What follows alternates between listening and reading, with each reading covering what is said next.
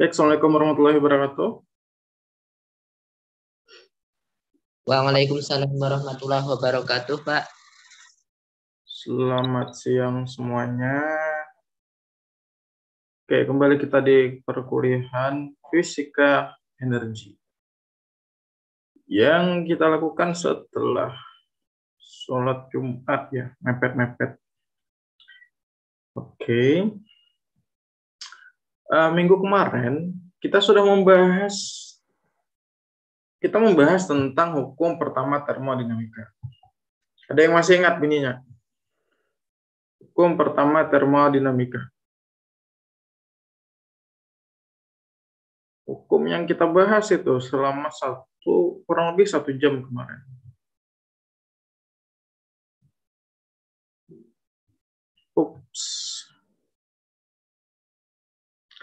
Ini hukum kedua. Hari ini kita mau masuk ke hukum kedua termo. Ya. Nah, tapi ada baiknya kita mengingat dulu, mengingat kembali yang minggu kemarin itu apa yang kita pelajari. Ada baiknya kita mengingat itu.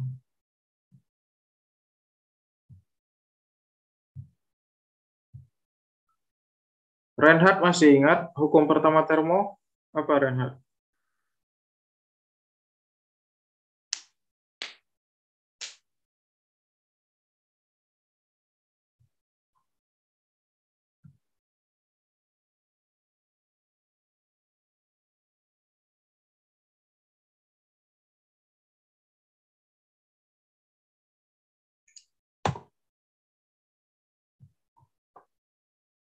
Hukum pertama termo.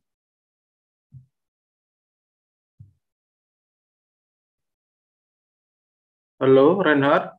Halo, Pak. Apa kemarin? Hukum termodinamika adalah suatu pernyataan mengenai hukum universal atau rumusnya Q sama Q sama dengan delta U tambah W itu yang kemarin itu adalah uh, itu rumus ya. Tapi kan intinya itu hukum hukum pertama itu tentang energi dalam suatu benda.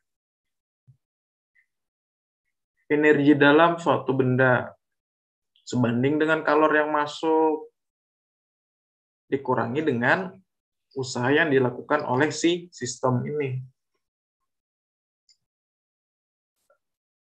Hukum pertama itu tentang itu ya, energi dalam suatu sistem.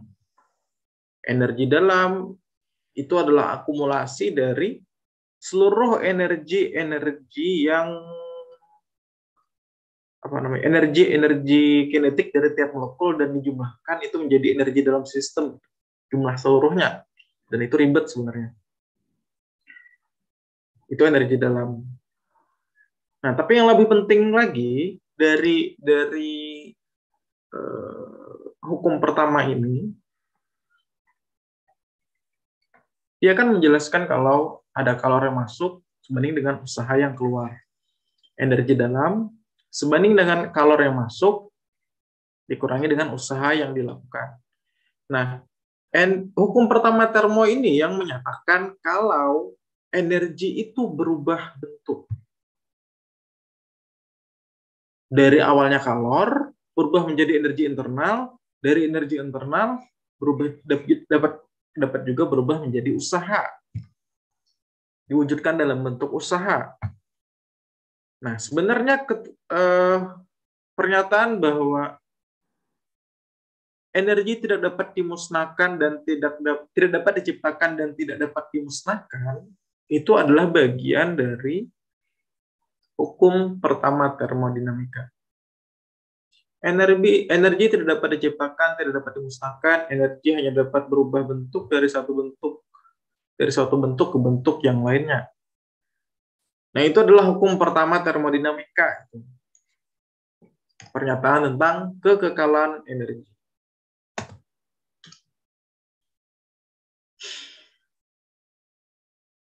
Kalau dulu kita sering itu di membahas itu di energi mekanis ya, energi mekanik.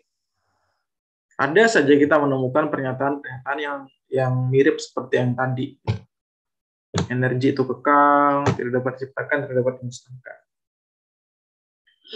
Oke, itu itu hukum pertama. Sekarang kita masuk ke hukum kedua termodinamika. Nah, hukum kedua termodinamika ini uh, dapat memiliki banyak bentuk. Ya.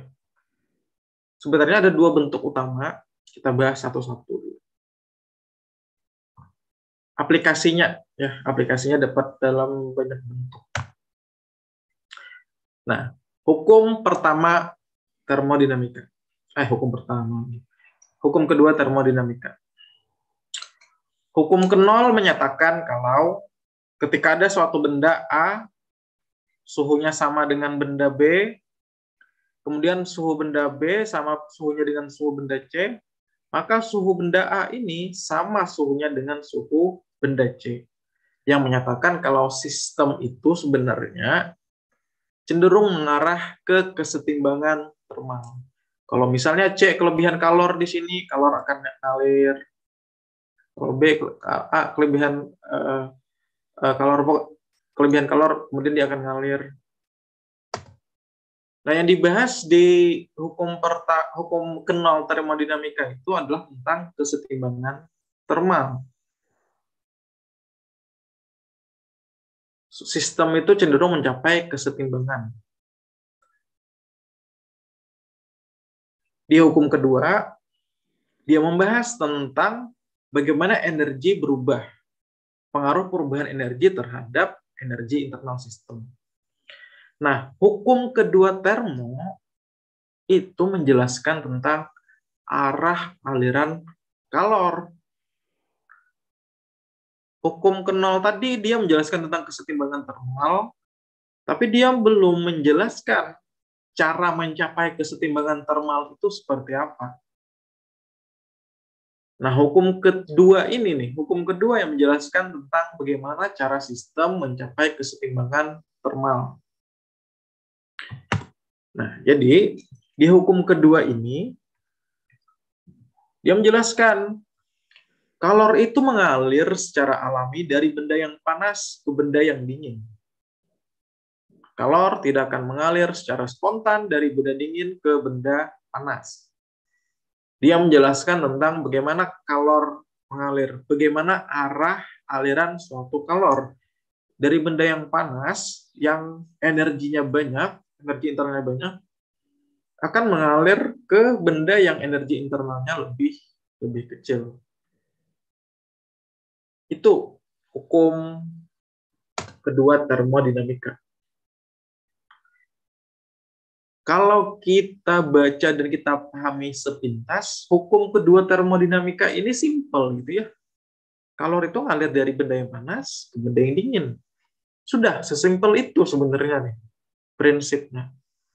Tapi tahukah kalian, kalau ternyata dari pernyataan yang sesimpel ini, itu melahirkan revolusi industri.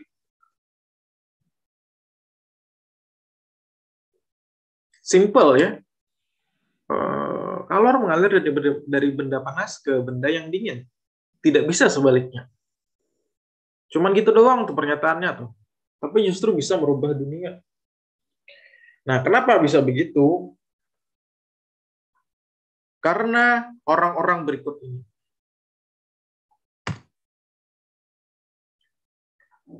Oke, ini uh, saya ketinggalan. Ini adalah bentuk lain dari hukum dua termodinamika.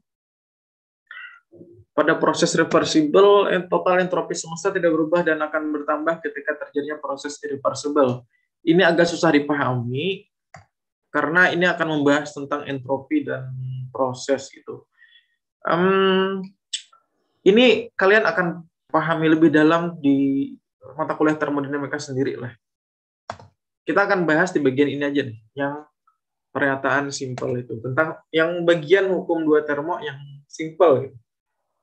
Kalau mengalir dari benda panas ke benda yang dingin, bukan sebaliknya. Itu aja. Nah, efek dari hukum dua termodinamika itu memunculkan teori mesin teori mesin kalor.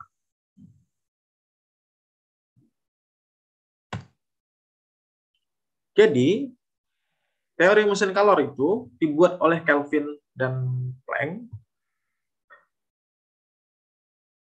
Dua orang yang berbeda dan hmm, pernyataannya berbeda tapi digabungkan jadi satu sehingga menjadi mesin kalor.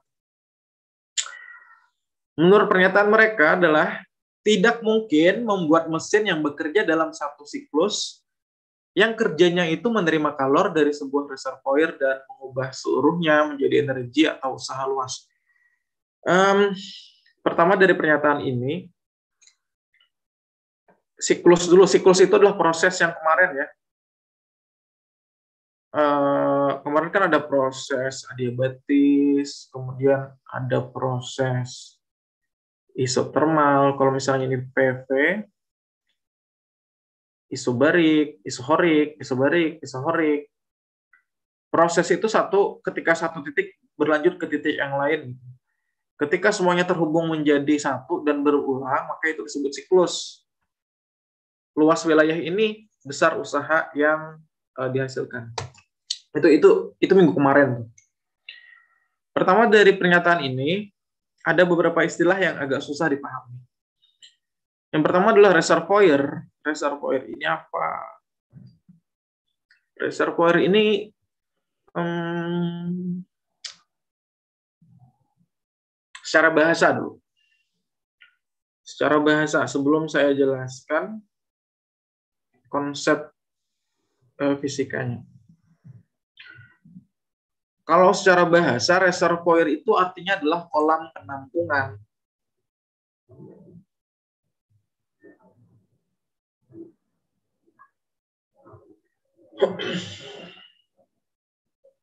Reservoir itu ya semacam kolam penampungan secara bahasa. Tapi dalam fisika reservoir itu maknanya adalah uh, suatu tempat yang sangat luas. Tempat ini e, begitu besarnya dan begitu luasnya sehingga ah, gini aja ini. Oke, tunggu. Wait,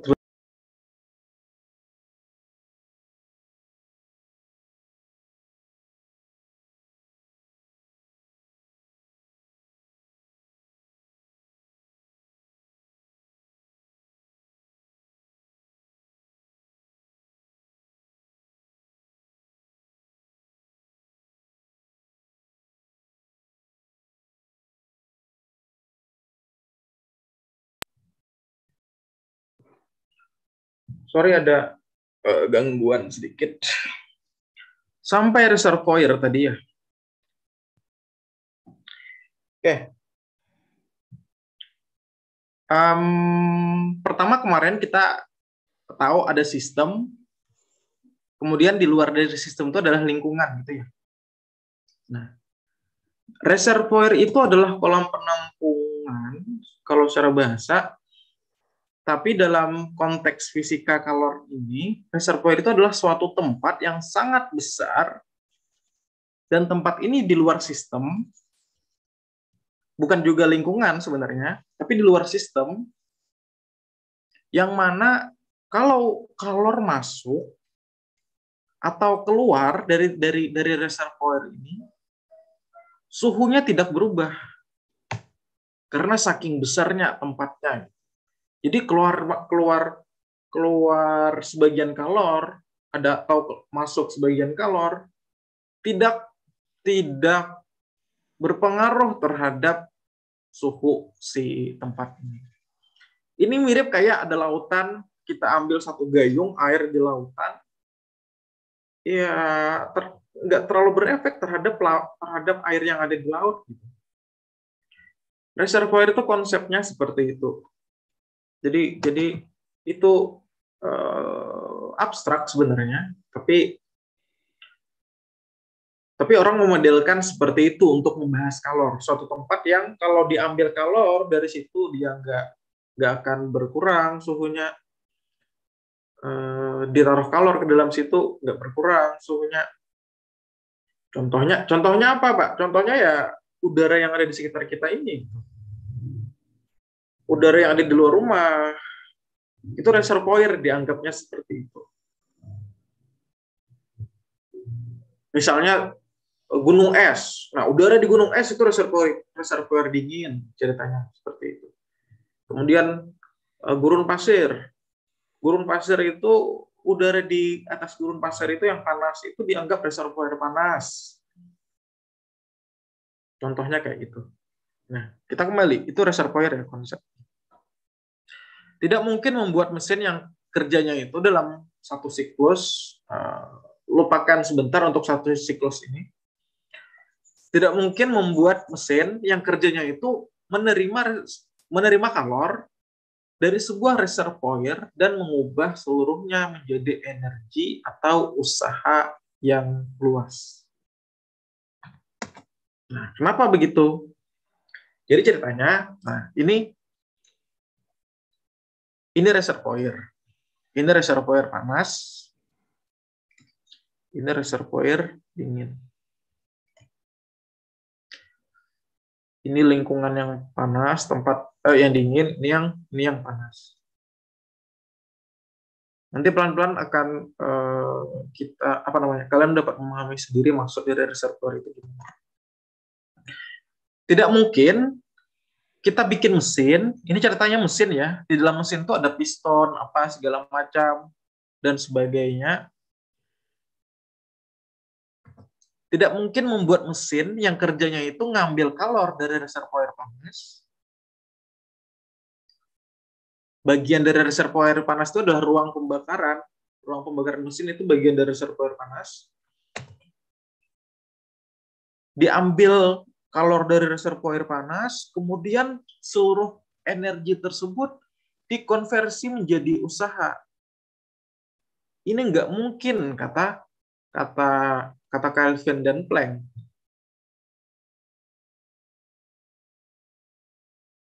Gak mungkin kita membu uh, sepeda motor, sepeda motor yang pembakaran hasil bahan bakar sepeda motor kita itu diubah seluruhnya untuk memutar ban. Tidak mungkin kata kata Planck, kata Kelvin dan Planck.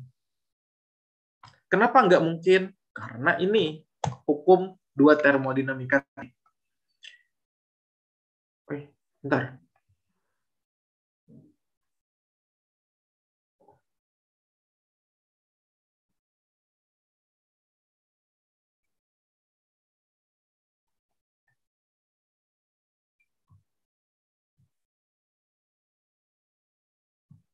Ini kenapa mati? Oke. Okay.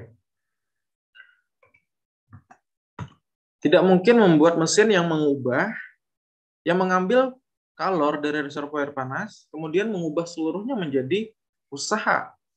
Kenapa nggak mungkin? Karena hukum kedua termodinamika, yang mana menyatakan kalau benda itu mengalir, kalor itu ngalir dari benda panas ke benda yang dingin. Secara alami ngalir dari benda yang reservoir panas ke reservoir yang dingin kalor itu seperti itu. Di sini ada reservoir panas, di sini ada reservoir dingin. Ini aliran di sini nggak bisa diabaikan. Gitu ceritanya. Jadi yang mungkin adalah dalam suatu aliran ini, ini reservoir panas ya, temperatur rendah gitu, reservoir dingin. Yang mungkin adalah ketika kalor mengalir ketika kalor diambil dari reservoir panas Q1 masuk sebagian diubah menjadi usaha misalnya menggerakkan benda menggerakkan ban sebagian lagi akan terbuang ke lingkungan dalam bentuk gas buang makanya setiap mesin selalu ada knalpotnya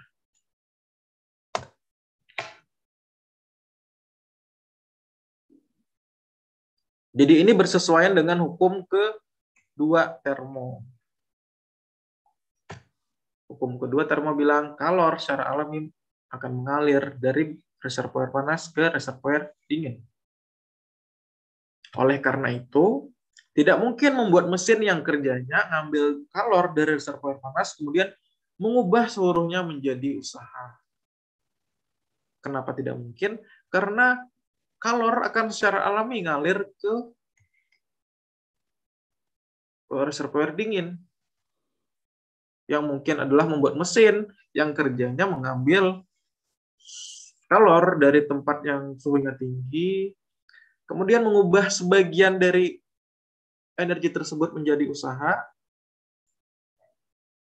sambil dilepaskan menjadi gas buang ke reservoir dingin. Itu yang mungkin. Nah, jadi ini hukum dua termo mesin kalor sudah. Dan mesin kalor ini yang melandasi uh, revolusi industri yang pertama.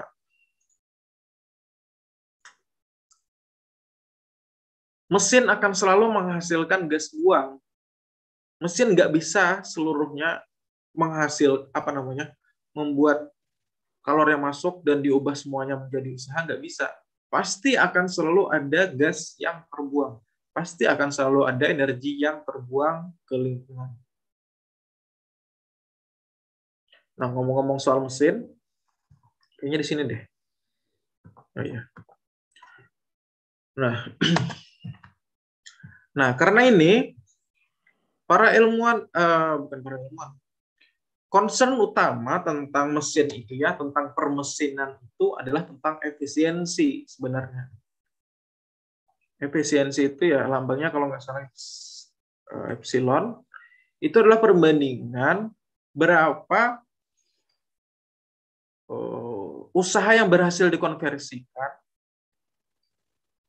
dibanding dengan kalor yang masuk dikali 100%.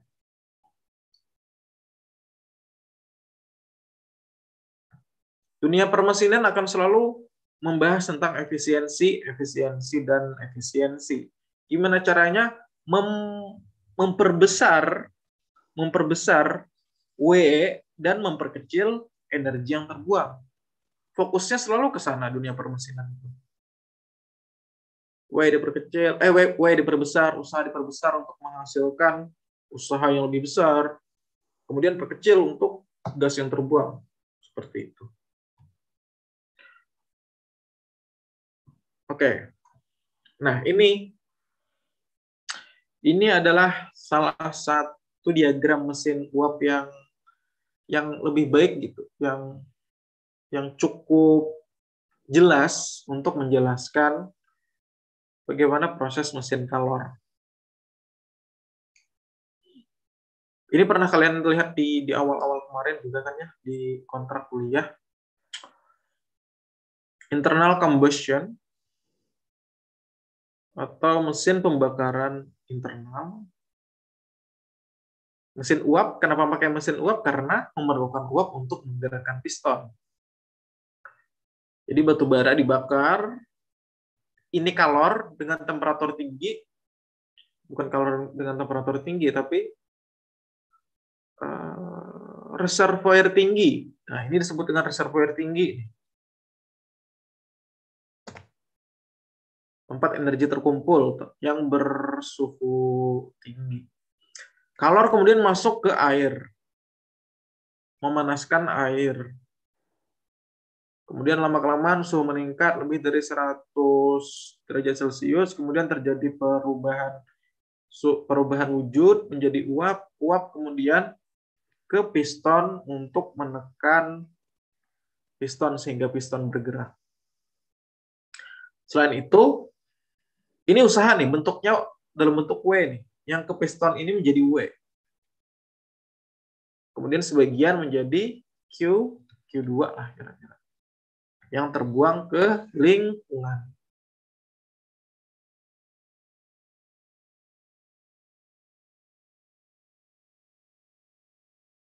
Nah, termodinamika itu lebih membahas ke bagian sininya. Kalau bagian crankshaft dan yang lain-lain ini, itu lebih ke teknis Eh, banyak sih ke rotasi, dinamika rotasi, kemudian torsi segala macam. Nah, termo itu membahas di bagian sini. Salah satu yang mendorong lahirnya mesin uap dari James Watt. Nah, ini ini adalah diagram mesin kalor yang kemarin. Yang mana kalau misalnya terjadi siklus, maka usaha yang melingkupi siklus ini itulah besar usahanya gitu. Besar usaha yang dilakukan oleh si mesin kalor. Uh, ini ini yang tadi ya. Yang mungkin adalah ini diagram yang tadi ngambil dari reservoir panas. Uh, dia mengalir ke reservoir dingin, sebagian diubah menjadi usaha. Nah, tentang efisiensi yang tadi, misalnya, nih, ini misalnya. Misalnya kalor yang diambil itu 100 joule gitu. 100 joule.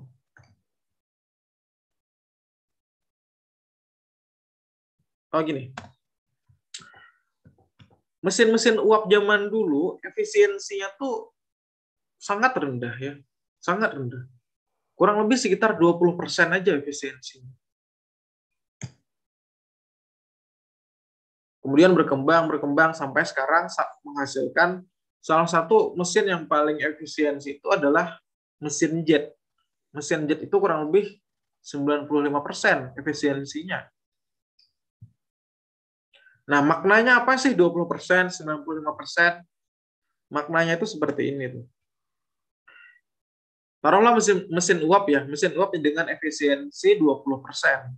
Nah, itu maknanya adalah dari 100 joule, misalnya ada 100 joule yang masuk ke dalam ke dalam uh, mesin.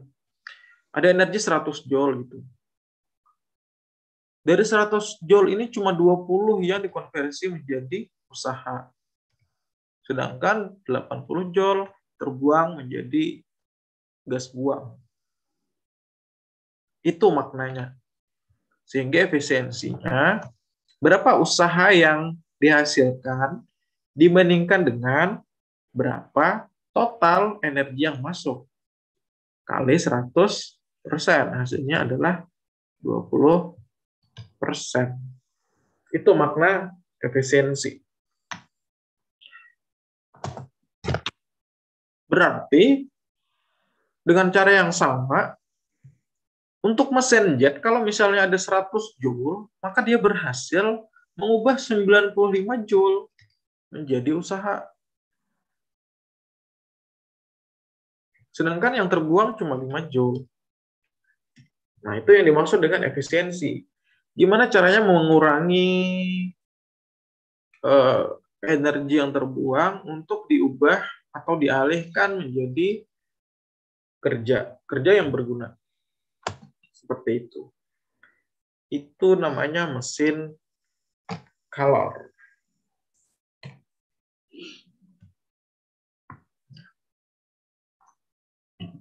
ini contoh soal dikit sih sebuah mesin kalor menyerap kalor dari reservoir panas sebesar 1000 joule dan membuang kalor ke reservoir dingin sebesar 800 joule. Berapa efisiensi mesin tersebut? Ini kayak yang tadi sih.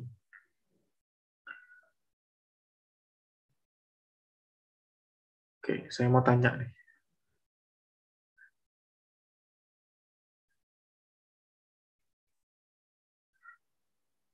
Zaina?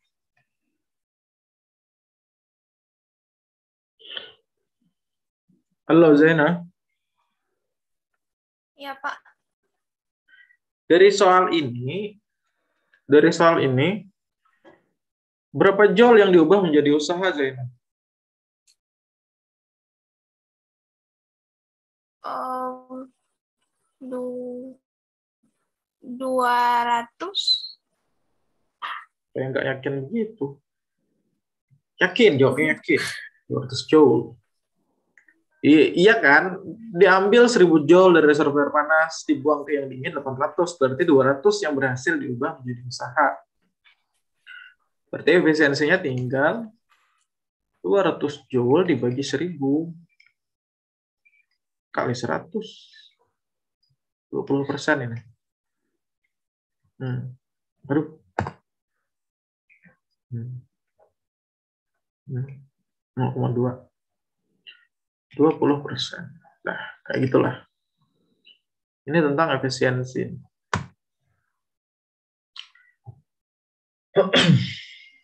Nah, ini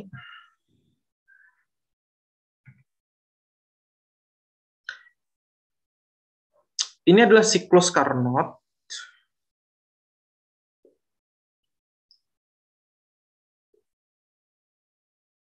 Dan pasti kalian sudah mempelajari, eh, nggak tahu deh. Kalian sempat belajar apa enggak? Tapi harusnya sudah sih di SMA. Kalau saya dulu sih rasanya di sempat belajar, tapi cuma sebentar gitu ya, karena ngejar materi. Tapi intinya materi materi ini ada di SMA sih. Siklus Carnot ini mungkin dulu kalian bingung ya siklus Carnot ini tentang apa gitu. Tentang apa ya apa, apa namanya? Uh, diagram dan miring-miring begitu. Nah, siklus Carnot itu sama juga dengan yang ini ya. Dengan yang sebelumnya ini. Ini juga disebut siklus yang mana terdiri dari isobarik dan isohorik, cuma dua proses saja. Dan ini menceritakan tentang eh, piston di dalam mesin. Volume volume piston itu dapat dapat berkembang, kemudian mampat berkembang. Gitu. Nah, sama juga dengan siklus Carnot ini, dia menceritakan tentang piston. Piston dan ruang ruang piston yang di dalamnya. Gimana tentang ada ada kalor masuk dan ada kalor kalor keluar. Ada proses adiabatik. Kalau dipisah satu-satu, siklus Carnot ini ini adalah proses isotermal. Sedangkan yang di bawah ini juga isotermal. Nah, jadi ceritanya konsepnya siklus Carnot ini adalah pertama proses isotermal A saya tulis saja ya A B C kemudian di sini D. Nah, dari A ke B ini proses isotermal. Volume piston mengembang. Volume piston mengembang tapi karena dia isotermal, isotermal itu suhunya tetap. Volume piston mengembang, ada kalor masuk, suhunya tetap. Kemudian dia mengembang lagi proses adiabatik yang terjadi. Pada proses adiabatik ini volume mengembang juga. Tekanan turun, tekanan turun nih. Ini grafik tekanan, kemudian di sini grafik volume. Tekanan turun, volume mengembang, tapi tidak ada kalor yang keluar atau masuk karena dia adiabatik. Adiabatik itu kalor tetap tidak ada yang keluar masuk. Kemudian dari C ke D, pistonnya menyempit tuh, ruang piston menyempit, terjadi kompresi, volume menyempit, kemudian ada kalor yang dibuang, tekanan naik, dan suhu tetap. Kemudian terakhir ada adiabatik lagi, proses adiabatik. Eh, tekanan langsung naik drastis. Kalor tidak ada yang keluar masuk dan volume eh, juga volume berkurang karena naik drastis.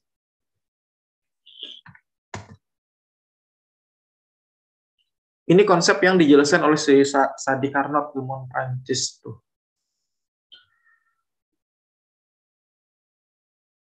Nah, menurut eh, Carnot, menurut Sadi Carnot, jika berhasil menciptakan mesin yang seperti ini, ini mesinnya ini konsep ya, sebatas konsep. Katanya kalau berhasil menggunakan apa namanya menciptakan mesin yang kerjanya itu bisa seperti itu, maka efisiensinya itu akan rumus efisiensi efisiensinya itu adalah suhu reservoir panas dikurang suhu reservoir rendah dibagi suhu reservoir panas dibagi eh dikali 100 persen. Mungkin agak membingungkan ya. Ini rumus-rumus kenapa ada sekarang gitu. Jadi gini, kita kembali nih. Reservoir panas ada suhunya kan T1, reservoir dingin T2. Tentu yang T1 ini suhunya lebih dingin daripada uh, T1 gitu. Nah, menurut sisa di Carnot, efisiensi mesin itu dipengaruhi oleh suhu reservoir panas dan reservoir dingin aja berdasarkan mesin Carnotnya. Jadi efisiensi maksimum setiap proses energi, energi termal ditentukan oleh perbedaan suhu antara ruang pembakaran dan suhu lingkungan pembuangan. Ini su ruang ini ruang pembakaran di sinilah. Pembakaran gitu ya, pembakaran ruang pembakaran, suhunya pH. Kemudian di sini suhu lingkungan, suhunya TC. Jadi kalor diambil, masuk ke dalam mesin, kemudian eh, kalor dibuang, masuk ke lingkungan. Efisiensinya bergantung ke suhu suhu ruang pembakaran dan suhu lingkungan. Begitu kata dia. Tapi yang jadi masalah adalah tidak ada mesin yang kerjanya tuh bisa seperti ini. Siklus Carnot atau mesin Carnot adalah mesin ideal yang kalau sebenarnya bisa dibuat, maka ini adalah salah adalah mesin yang paling efisien efisien di dunia. Kalau siklus Carnot bisa berhasil diwujudkan gitu. Kalau ada mesin yang berhasil mewujudkan siklus ini, maka mesin tersebut akan menjadi mesin yang paling efisien. Tapi masalahnya nggak nggak bisa dibuat. Kenapa nggak bisa dibuat? Karena proses ini nih ada dua biji proses yang sulit diwujudkan.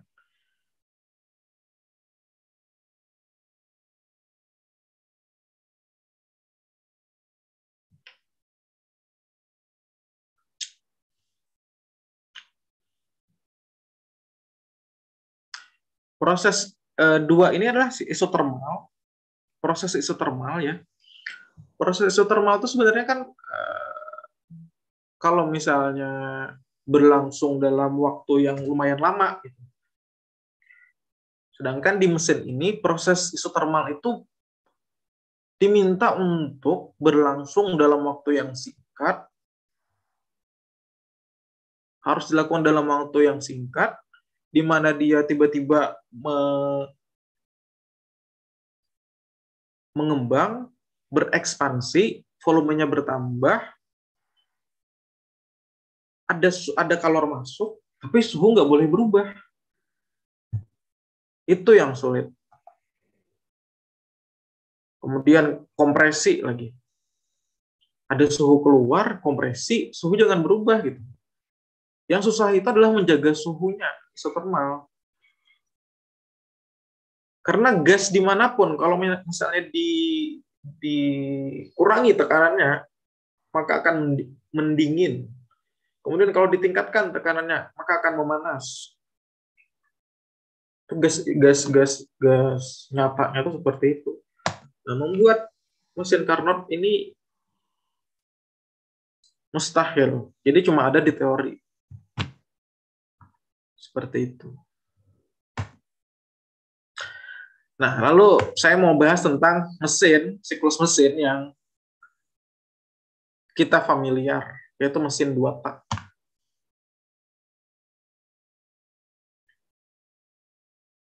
Mesin dua tak ini yang di sebelah oh, kiri, diagram di sebelah kiri ini adalah teori, teori secara teori ingin menghasilkan diagram yang seperti ini.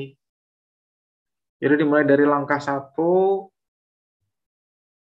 dia isotermal, kemudian kemudian isobarik, kemudian adiabatik, kemudian isobarik sedikit dan berulang.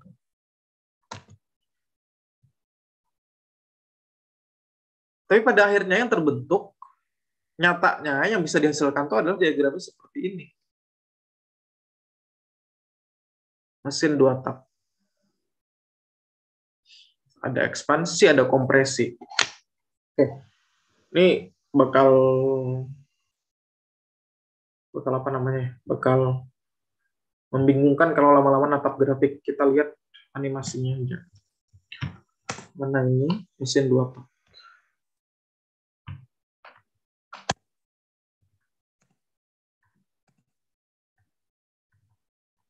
Oke.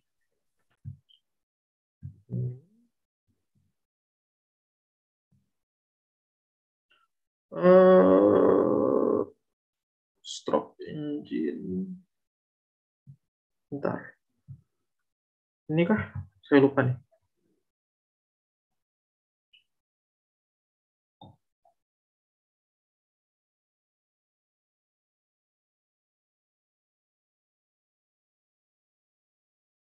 One of the well-known types of internal combustion engine is Ini suaranya kedengaran kali kalian? Terdengar, Pak. stroke engine. This type was widely used on motorcycles before four-stroke engines were popular. Then how do the two-stroke engine work? See the following animation, even a little. The reason, combustion has potential energy. And we know that explosion have expansion power. This expansion power is used to push the piston. So that we get the physical energy. Nah, yang membedakan antara internal combustion ini dengan dengan mesin uap yang sebelumnya, mesin uap itu yang dibakar itu kan di di luar pembakarannya kan ini proses pembakarannya itu di batu bara yang ada di luar ruang terbuka gitu. Nah, sedangkan in- internal combustion ini proses pembakarannya proses pembakarannya itu ada di dalam mesinnya dengan menggunakan busi gitu. Jadi ketika terjadi spark atau nyala api, dia langsung mendorong piston. How to get combustion inside the engine. The combustion occurs when the fuel burn. But we cannot forget that Perlu the fire oksigen. oxygen. So to Makanya perlu udara intake, air intake namanya. get the combustion, Tentu perlu bahan bakar, perlu busi. produces komponen yang menyatukan antara bahan bakar dan oksigen itu adalah karburator. the combustion occurs. However, if the condition is like this, the piston is only pushed down.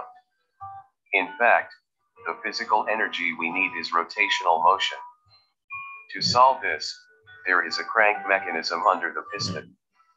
It functions to convert the vertical motion of the piston into rotation. In addition, Nah, piston itu kan cuma naik turun ya kalau misalnya misalnya dibiarkan begitu. Sedangkan kita pengen sesuatu yang menggerakkan roda dalam bentuk putaran gitu. Nah, crankshaft ini fungsinya mengubah gerakan naik turun piston menjadi so rotasi, energi rotasi. Can be done again so that the engine can run longer. Then the question is, how to make the combustion happen continuously. Nah, ini proses bagaimana There are only two steps for combustion to occur continuously. siklus pembakaran internal. The first step is when the piston moves upward. When the piston moves upward, the space under the piston is enlarged. In addition, Nah, step pertama itu piston naik ke atas, kemudian ada Udara masuk. now is open. This condition causes the air and fuel mixture sucked into the crank chamber. udara sama apa namanya bahan bakar masuk. The second step is when the piston moves down. Nah, ketika piston turun ke bawah. Maka sebagian udara yang sudah masuk tadi berpindah melalui celah di samping itu kan, berpindah ke atas tuh. Ketemu sama busi di atas. crank chamber is pushed into the combustion chamber through the transfer channel.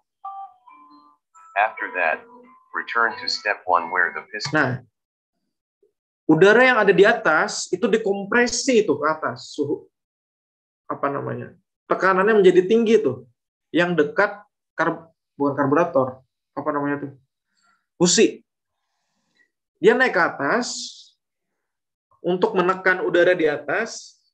Di saat yang sama ada udara baru da- udara dan bahan bakar baru yang masuk ke bawah. Nah pada saat ini siap dibakar The crank chamber is enlarges so that air and fuel are sucked in. udara tertutup ya kan? Tidak ada udara yang apa namanya menjadi hampa udara gitu while the combustion chamber is narrowed. Even though this space is filled with air fuel mixture. This condition makes the air fuel mixture in the combustion chamber is compressed so that the temperature and pressure rise. Hmm. piston bergerak ke atas ruangan menyempit campuran udara dan bahan bakar itu menjadi eh, tertekan tekanannya naik dan pada saat itu dikasih api sedikit aja akan mudah terbakar After that continue to step 2 where the piston moves down. At this time, the spark plug is sparked. Tentu, nyalakan busi busi menyalakan api itu. combustion chamber burn and produces an expansion power that pushes the piston down. terbakar, udara dan bahan bakar terbakar pada saat itu.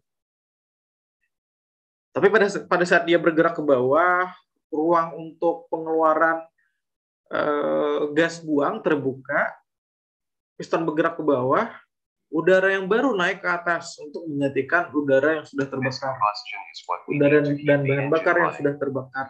At the same time, the piston movement causes the crank chamber is narrowed, and the air fuel mixture is pushed into the combustion chamber. Before the piston reaches the bottom dead center, the exhaust channel opens.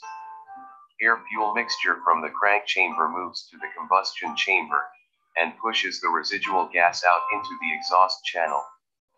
When the piston reaches the bottom dead center, the residual gas has flushed out and now, the combustion chamber is filled with fresh air fuel mixture. So the conclusion, the two-stroke engine has only two steps. Each steps has two processes. Nah, jadi katanya kenapa disebut dua dua tak? Karena langkah dari mesin ini cuma dua. Satu, air udara udara masuk dan kompres. Udara masuk itu yang yang di bawah nih. Jadi pada saat sekarang kan ada udara masuk, sedangkan di bagian atas itu ada kompresi itu ke udara yang sebelumnya terjadi terjadi combustion atau pembakaran consists of intake and compression processes, dan exhaust. Exhaust itu pengeluaran consisting of combustion and exhaust. buang. Meanwhile, the gas mobility only utilizes piston walls which can close or open the gas channels based on piston movement. So, a two-stroke engine does not require a valve mechanism.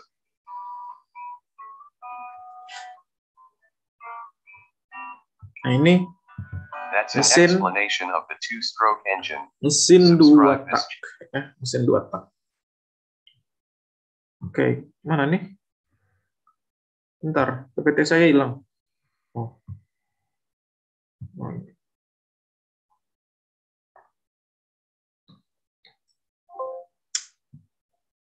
Apa pula dia?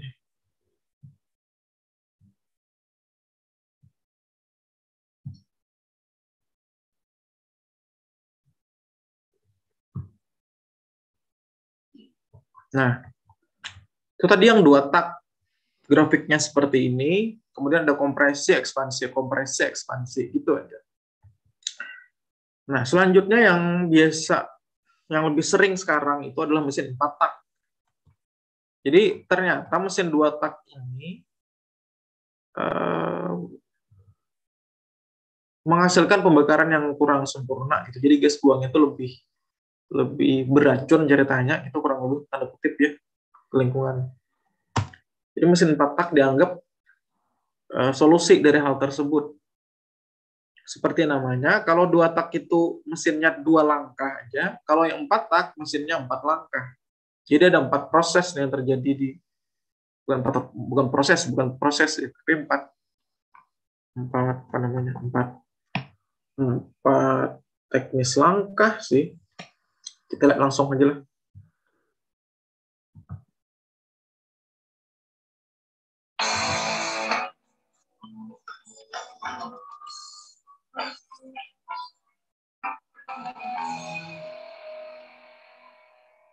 Here are the basic components of every four-stroke gas engine. A piston, a connecting rod, a crankshaft.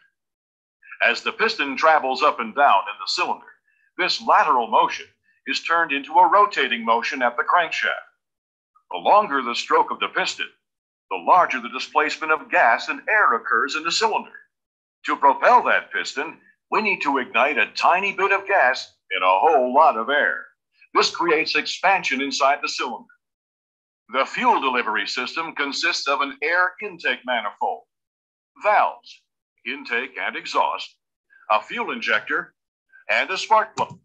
Kalau yang di dua tak tadi, udara masuk air intake-nya itu kan lewat samping ya animasinya. Kalau yang di ini masih lewat atas nih. A four-stroke engine is called a four-stroke because four Bentar, ya. valves, intake and exhaust, Ini langkah dari mesin empat tak nih. a fuel injector, and a spark plug. A four-stroke engine is Yang pertama nih, turun ke bawah dan ada ada udara masuk, udara dan eh, bahan bakar. called a four-stroke because four up and down motion Kompresi. Langkah kedua adalah kompresi ke atas. Ketiga. eh, apa namanya? Pembakaran. Keempat, mendorong keluar. The piston travels downward as the intake Masuk. valve opens in a mixture of air from the atmosphere and a metered amount of gas from the electronic fuel injector enter the cylinder. This is called Udara dan the intake masuk. stroke. Intake stroke On the masuk ya. second stroke, the piston travels upward, Kompresi. compressing the air and fuel to make a highly combustible mixture. This is called the compression stroke. At this point, the spark plug fires, sending the piston downward from the expansion of the air and gas mixture. This is the combustion stroke. The fourth stroke is the exhaust stroke.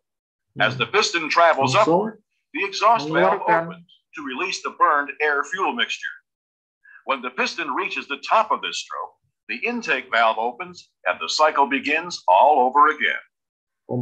It takes one up and down motion or two strokes of the piston to create one revolution of the crankshaft.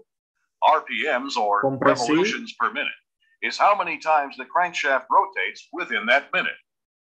At wide open throttle, the crankshaft may turn at 5,000 RPMs or Nah, biasanya dalam mesin itu dihitung ada beberapa eh, indikator-indikator yang menyatakan dayanya. Dari RPM, kemudian daya kuda. RPM itu rotation atau revolution per menit. Satu menitnya berapa kali putaran sih? 83 rotasi per detik. Kalikan aja 60 berapa RPM. Jadi 83 times per second. Meanwhile, the piston traveled up and down 166 times in that same second. Want to see how fast that is? hmm, Now, that's fast. Let's see it again. Amazingly, the four stroke EFI engine does this smoothly, quietly, and reliably for years and years of operation. Okay, itu dia. Nah, beda ya dibandingkan dengan si dua tak tadi. Kalau dua tak tadi itu eh,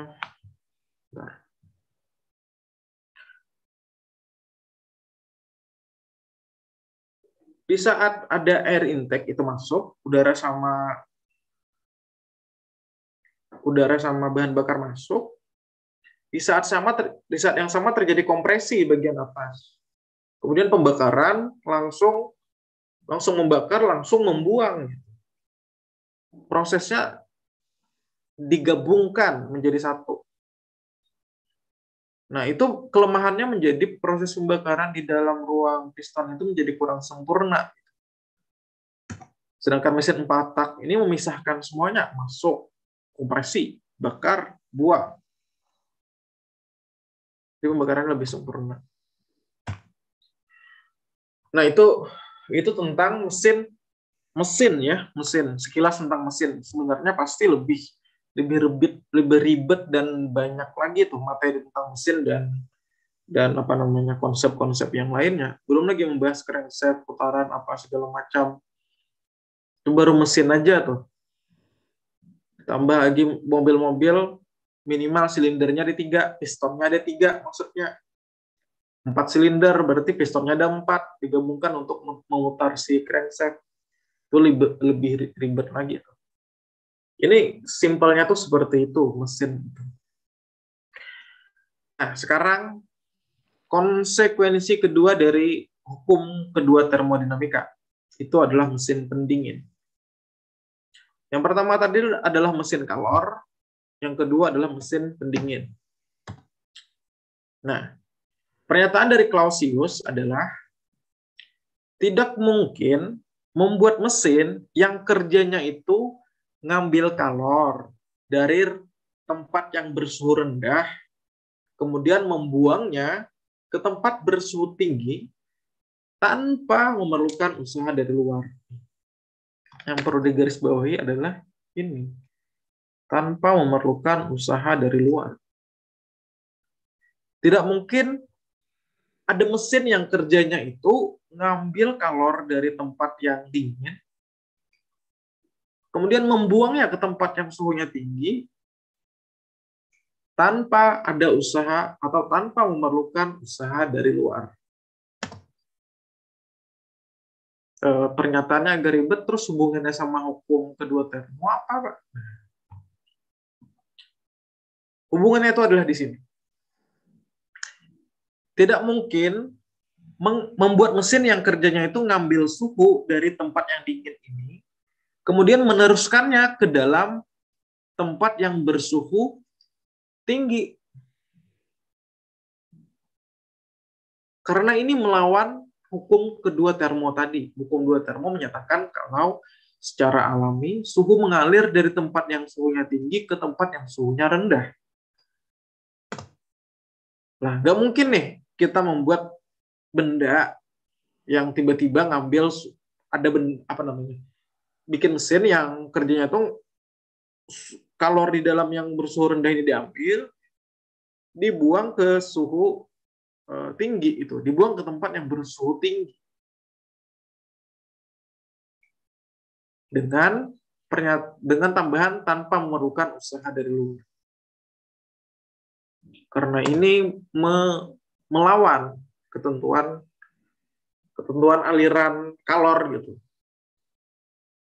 Nah, yang mungkin adalah mengambil suhu dari tempat yang bertemperatur rendah, mengambil kalor dari tempat yang suhunya rendah, disertai dengan atau dibantu dengan usaha dari luar untuk membuangnya ke tempat yang bersuhu tinggi. Jadi itu maksudnya mesin pendingin itu. Jadi mesin pendingin tiba, tidak tiba-tiba ada kalor diambil, dibuang, kalor diambil, dibuang, tidak bisa seperti itu. Harus ada usaha dari luar yang membantu proses pengambilan kalor dan pembuangan kalor. Usaha dari luar ini salah satunya memerlukan energi listrik. AC kalau nggak dinyalakan nggak mungkin dia bisa tiba-tiba dinyalakan apa namanya tiba-tiba membuang kalor. Tidak mungkin tiba-tiba menarik kalor dari ruangan kita kemudian membuangnya ke luar. Mesti dibantu dengan usaha dari luar, mesti dibantu dengan energi dari luar. Seperti itu. Jadi maksudnya tidak mungkin kita melawan hukum termodinamika tanpa memerlukan usaha dari luar. Tidak mungkin melawan hukum kedua termodinamika itu yang secara alami tadi dibilangnya tanpa usaha dari luar. Nah, sekarang ini diagram mesin pendingin. Uh, bentar, harusnya saya, saya hapus.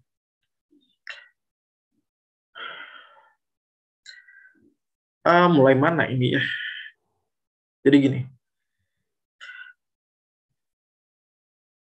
Prinsip mesin pendingin ini adalah ngambil kalor dari dalam freezer, kemudian membuangnya keluar dari kulkas. Ini taruhlah kita kulkas, lah kita ngomongin kulkas. Prinsip kerjanya adalah ngambil kalor dari dalam freezer, kemudian membuangnya ke luar. Prinsipnya seperti itu. Nah, gimana caranya cara mengambilnya, Pak? Padahal kan di dalam kulkas tuh udah dingin. Gimana caranya membuat dia bisa ngambil terus-menerus? Nah, kuncinya itu ada di bahan sebenarnya. Pertama ada di bahan yang terletak di pipa-pipa ini. Kemudian kuncinya lagi ada, ada di kompresor. Kemudian kuncinya lagi ada di expansion device expansion device. Ada tiga nih.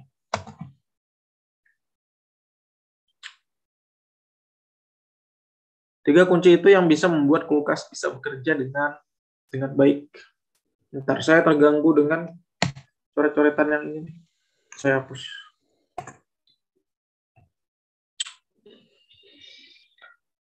Oke, kita jelasin satu-satu.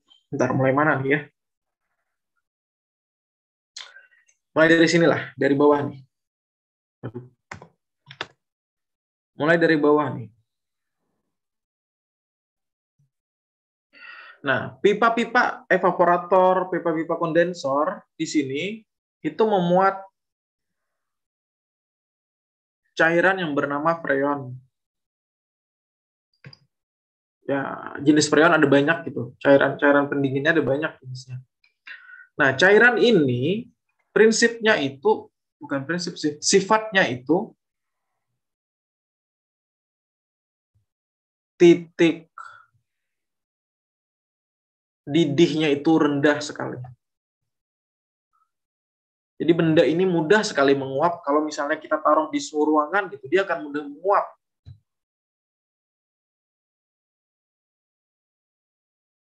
Jadi kinerjanya itu kurang lebih dari suhu ruangan ini Eh, saya lupa berapa derajat pastinya. Cuma kurang lebih ini ini uh, rentang perkiraannya aja.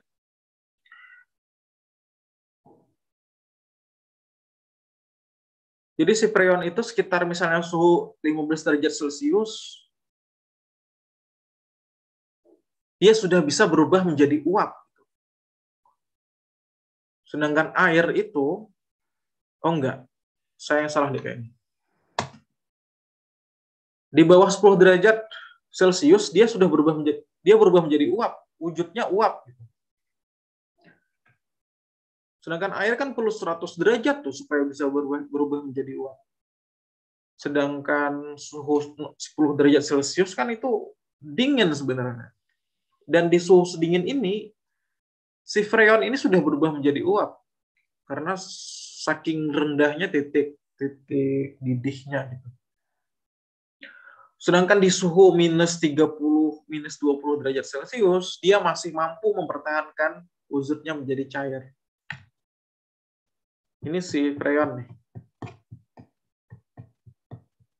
Sifat karakteristiknya seperti itu.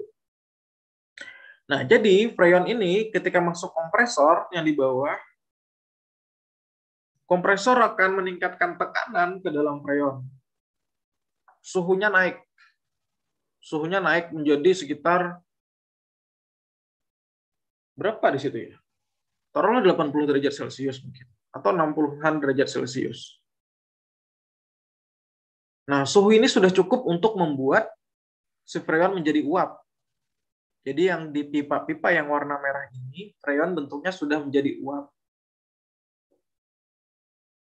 Panas, ya kan?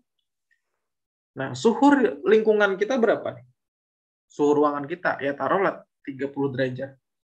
Nah, freon suhunya sekitar 60 derajat, kemudian ruangan suhunya 30 derajat, otomatis kalor akan mengalir dari suhu eh, dari benda bersuhu rendah, sorry, dari benda yang suhunya tinggi ke benda yang suhunya rendah.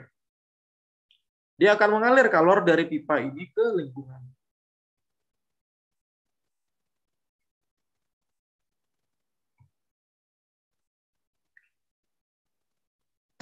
Nah, setelah kemudian sampai expansion device masuk sini, tekanan freon akan diturunkan secara tiba-tiba. Ya. Ini tekanannya tinggi nih di bagian sini karena kompresor. Tekanannya tekanannya tinggi, suhunya tinggi. Freonnya menjadi uap. Kalor keluar dari dari dari freon ke, ke lingkungan. Nah, ketika mencapai expansion device, tekanan freon tiba-tiba menjadi turun.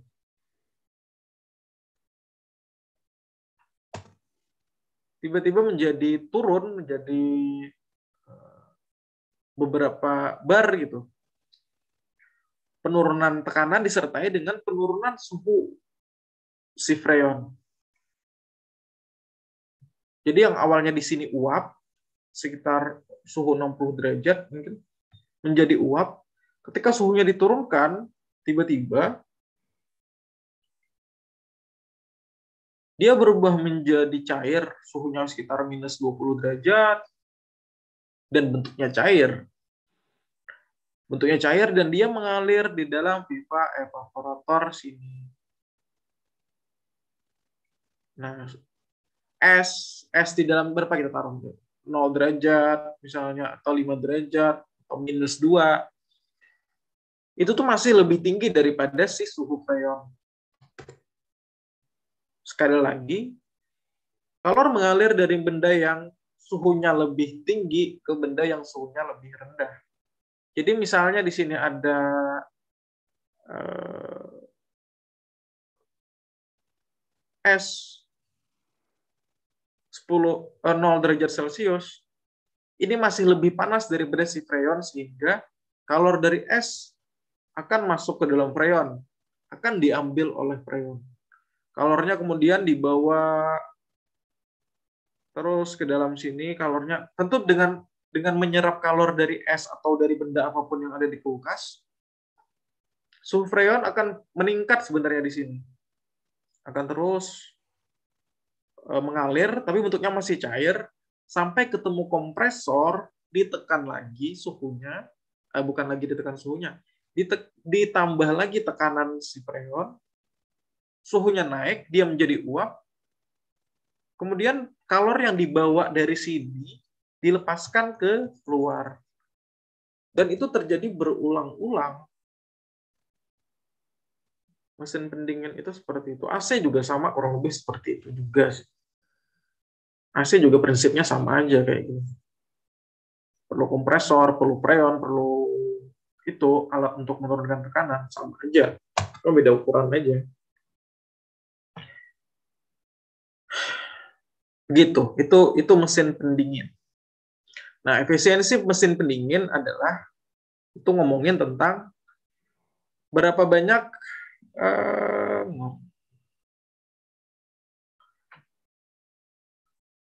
Kalau mesin mesin kalor tadi efisiensinya itu ke membahas tentang berapa usaha yang bisa dihasilkan untuk kalor yang diserap Q1 itu dikali dengan 100%. Ini mesin-mesin kalor ya. Kalau mesin pendingin efisiensinya itu membahas tentang berapa Eh, kalor yang bisa diserap untuk usaha dari luar yang diambil untuk tiap usaha dari luar yang diambil itu itu efisiensi tentang mesin pendingin berapa sih kalor Q2 yang bisa diambil dari sini untuk W tertentu. Semakin banyak kalor yang bisa diambil untuk W tertentu, maka semakin efisien. Itulah kira-kira konsep dari mesin pendingin. Efisiensinya ke arah ke arah sana. Oke. Okay. Uh, ini skip aja karena penurunan si penurunan rumus. Nah, implikasi implikasi ini saya cantumin implikasi hukum Carnot lah ya. Walaupun mesinnya itu enggak enggak enggak ada di, di dunia nyata, tapi ada implikasinya. Tadi kan uh, di Carnot itu dia menyatakan kalau efisiensi mesin itu bergantung pada suhu pembakaran di dalam, kemudian bergantung ke suhu pembuangan di luar. Nah, maka kendaraan yang beroperasi di wilayah yang bersalju atau beres akan menghasilkan efisiensi yang lebih baik gitu dibandingkan kendaraan-kendaraan yang berada di lingkungan yang panas di iklim tropis seperti ini. Kendaraan-kendaraan yang di, di pegunungan yang dingin, kendaraan-kendaraan yang di ya tempat-tempat yang ada es atau saljunya, yang mana suhu, bentar nih saya ulangin. Hmm.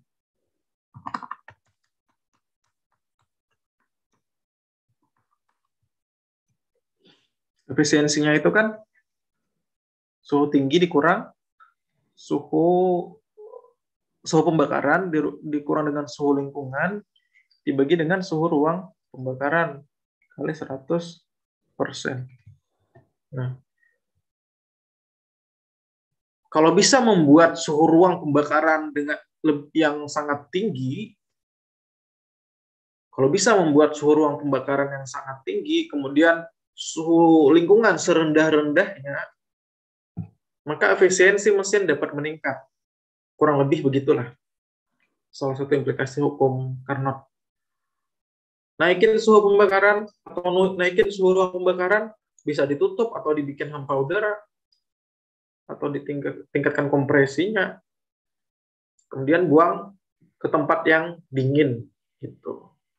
Nah, itulah kenapa mesin jet itu salah satu yang efisien.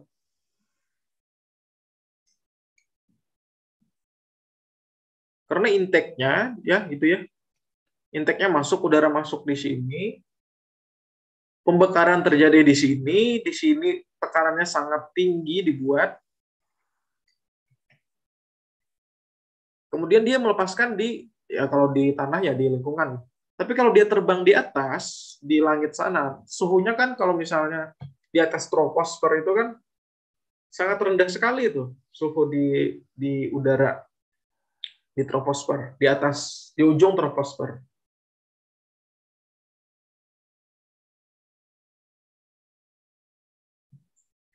suhu pembakarannya sangat tinggi sedangkan suhu pembuangannya sangat rendah makanya bisa menghasilkan salah satu mesin yang yang efisien gitu Walaupun masih banyak, sebenarnya masih banyak faktor-faktor lain yang mendukung kenapa mesin jet bisa lebih efisien. Oke, kurang lebih seperti itu untuk kuliah hari ini. Silahkan jika ada yang ingin bertanya sebelum kita tutup.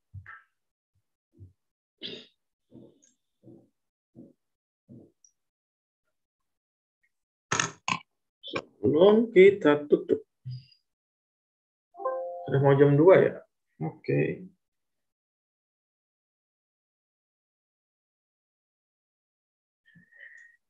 Oke. Nggak ada ya? Kalau gitu kuliah kita akhiri aja. Uh, ada PR. Paling minggu depan ada PR Um, semoga ilmunya ilmunya bermanfaat ya. Uh, maafkan juga kalau misalnya ada penyampaian yang kurang ataupun yang masih kurang jelas. Mungkin kalian malu untuk bertanya. Saya juga uh, kurang tahu ya bisa jadi. Oke, kalau gitu semoga ilmunya bermanfaat. Salah hilap mohon maaf. Eh, dan saya ucapkan wassalamualaikum warahmatullahi wabarakatuh. Waalaikumsalam warahmatullahi wabarakatuh. Terima kasih, Pak. Wabarakatuh. Terima kasih, Pak. Oke. Ya. Technique and meeting for